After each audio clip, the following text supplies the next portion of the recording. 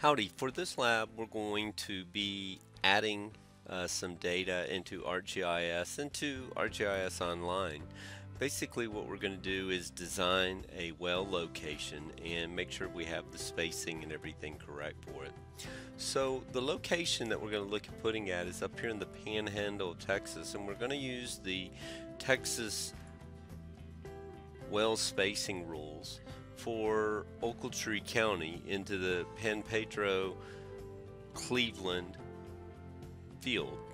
So when we do that, what we need to do is go through and, and obviously search for that, and I'll have uh, some information about that. But when we zoom into an area, we're going to look at that we have our little uh, company, if you will, that's going to get a lease into section 55 which is right here. And we're trying to put as many wells as we can into this uh, 640 acres here. So one of the things that we need to do is probably investigate all the wells around us and pull those plats. So when you zoom into that area here, you want to make sure you hit wells here and then you can just click on the well if you will and then go to well permits and then from there you can pick on the name and then zoom down and for example then hit like the plat. Now on the plat what we're going to do is we're going to try to uh, duplicate what we see on the plat. So I'll bring the plat over here. It's one of the plats that I've drawn. And you can see where I've taken a 320 acres in that track actually and put a well location but I also have another well location that's already in there uh, or where I'm proposing. And you can see all the information that I have uh, for this. I'll put this in that uh, in that example. So I want to try to reduplicate what you see here basically using ArcGIS Online okay? So I'll have some videos that'll show you how to bring in the wells put in your well points, put in your well bore information, create your title block, and put the information in there. And also do some leveling, I mean some labeling with Arcade and uh, do some, some data joins as well. Alright, so if you have any questions, give me a call. Okay, if you're searching for field rules uh, for the formation you want to penetrate, uh, you can type in uh, or start to type in some of the first three letters and it'll show up the different field rules. We're going to look at the San Pedro Cleveland as the one we want to try to penetrate. Now in here it says the line spacing, uh, the, the lease spacing, and acres per unit tolerance. If you want to understand that a little bit better, you can go to the illustration here and it talks about here you have the lease spacing and then you have the perpendicular line spacing. This is horizontally how far you need to stay off and then say your last take point or your first take point how far you need to be off away how far the terminus needs to be and then the spacing uh, between the wells. And then where your penetration point is, your first take point, your last take point, and your terminus. Your penetration point could be where your first take point, and sometimes you don't know because you might have a back build that brings you in that gets you, you know, right up to the location where you first can take, or you could be off lease and you might penetrate and then come into there. So look at that to understand that as well. So what it's saying basically is that we have a lease spacing uh, for the special rules, 330 for leasing, and then well spacing 933, and then only 160 acres per unit for each horizontal drill, and 4,500 maximum diagonal length. Now to understand some of these rules a little bit better uh, for both the gas and the oil and you'll see that they're basically the same here and uh, in the, the the unit for the Cleveland is 7120 to 7268 for the uh, depth you could go down here and look at the uh, final order document there's more details that explains how they came up with these rules. And key things that you want to look inside here is such as the take point in a horizontal drill well is any point along the horizontal drain well where the oil and gas can be produced in the wellbore. The horizontal drain hole wells may penetrate or terminate within the field interval at any location on a lease, pooled unit, or unitized tract, provided that the points in the horizontal drain will or well shall be a minimum 330 feet from the property line.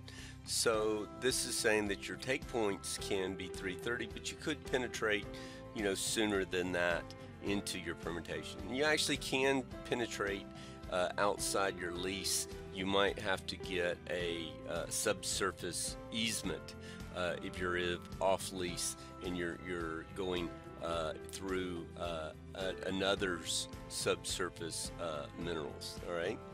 So then also all take points in a horizontal drain hole well shall be a minimum distance of 933 from an existing permitted or applied for horizontal drain hole well take points or the same lease unit or well on same lease or unit or unitized tract provided the restrictions on spacing between horizontal wells shall not be the horizontal drain hole that are parallel or subparallel within a 45 degrees. Just saying about, you know, when you have some that are coming in one direction and they might be coming or, or, or merging together, uh, how to address that.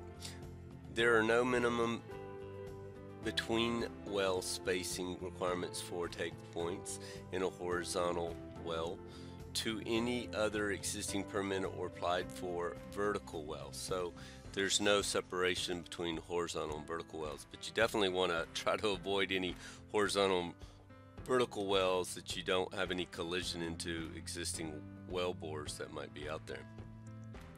So looking through this and understanding the uh, the sizes each one of the units you have to go through and also understand like okay so you can only have 160 acres notwithstanding above the acreage assigned to oil and gas trees has been drilled in a horizontal may contain more than 160 acres provided that use the formula that is here so you can go more than 160 acres per, per acre uh, per, per uh, well as long as you look at you know, adding this additional information here.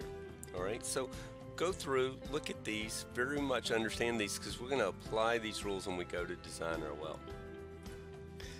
Okay, so I have my wells data information in here, my survey data, and my ELF energy well points.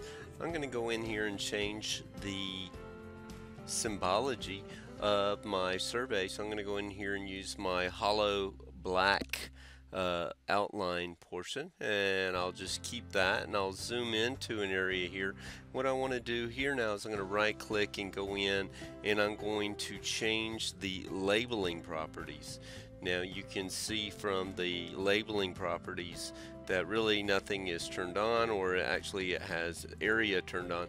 I'm going to copy the little bit of code that I gave previously and put that in there so that we can see that.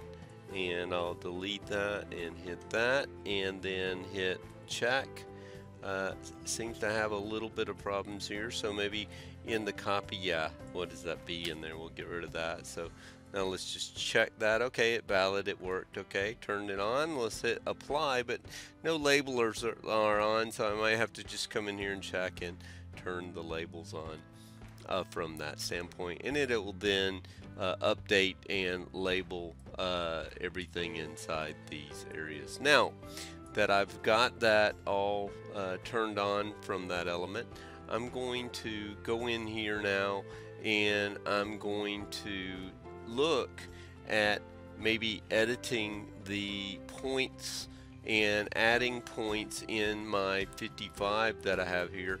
And let me just zoom that over here. Let's get rid of the unselect button there and go to our number select. I'm sorry, escape. Okay, so now I can zoom into my section 55 that I have here. And say for example I want to add some points.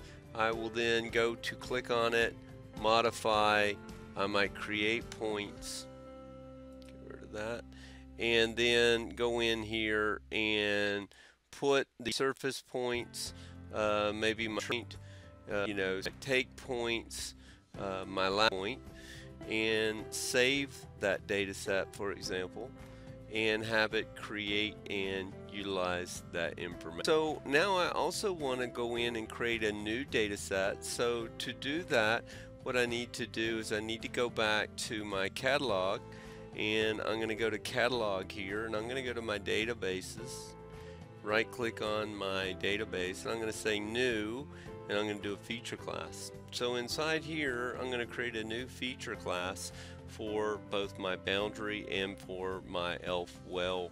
So I'll call it the elf uh, energy well bore. Alright, and this is going to be a polyline. And go through here, save that, run that. It'll add to a data set here. Then I'll edit that and I'll want to connect those lines through there.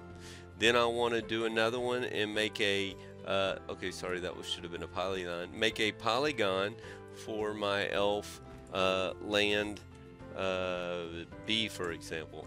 And then go through and edit that and make a polygon around from that standpoint. Once I've got everything drawn with all my wells and well bores as I want to have them in there, uh, now what I want to do is say a layout. And to do that, I'm going to go to uh, insert a layout.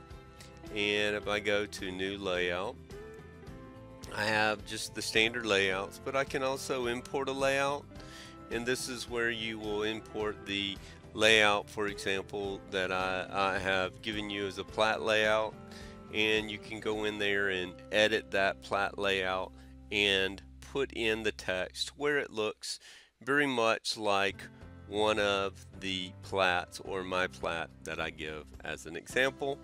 Once we're finished with that, what I'd like to see is us to push this up to ArcGIS Online so we can see that information there. Later on I'll show you how to actually do more of the well design in CAD and use FME to actually import that into ArcGIS. Alright, well good luck and if you have any questions, get in touch with me.